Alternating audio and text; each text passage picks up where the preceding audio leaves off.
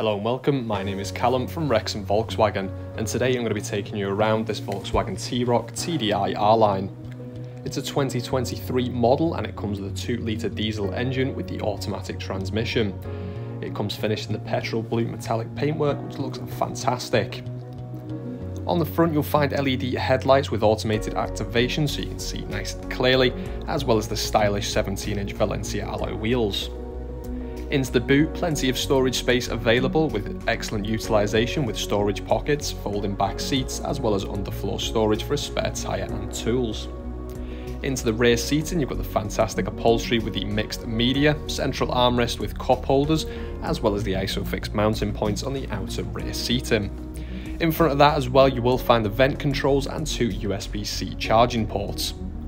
Making our way into the front, plenty of space and excellent styling in here too, with the gloss black trims around your centre there and above the glove box.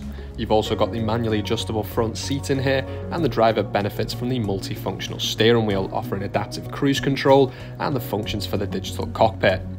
Taking a look at that available here, you have got in the centre various options including the assist systems, navigation, audio, telephone connections and the vehicle status.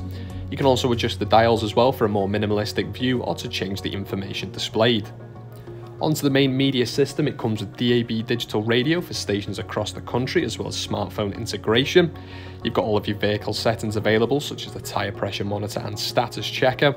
Satellite navigation as well to get you to those unfamiliar destinations. You can check out your assist systems including the adaptive cruise and it does come with the swipe screen as well and Bluetooth telephone connectivity.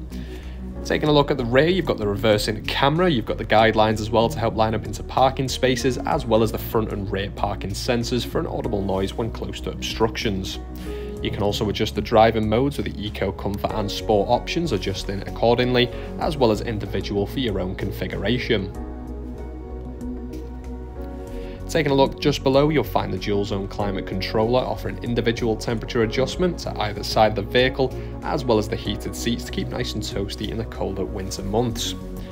Moving all the way down now, you've got plenty of storage and two USB ports, automatic gear stick in the centre with your electronic parking brake, cup holder space and storage in your armrest. For more information, visit the Swansway Motor Group website or give us a call on 01978 503 523.